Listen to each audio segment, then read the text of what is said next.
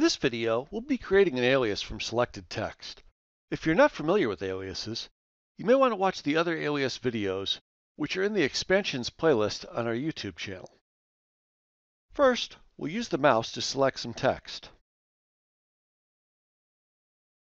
Next, we'll right-click and choose Create Alias. We have to give our alias a name. We'll use printf, so it will work well with syntax expansion. And that's all we have to do. We'll extend this alias slightly by adding the escape sequence to place the cursor. For more on this, see the video Adding Escape Sequences to an Alias on our YouTube channel. Now let's test our alias.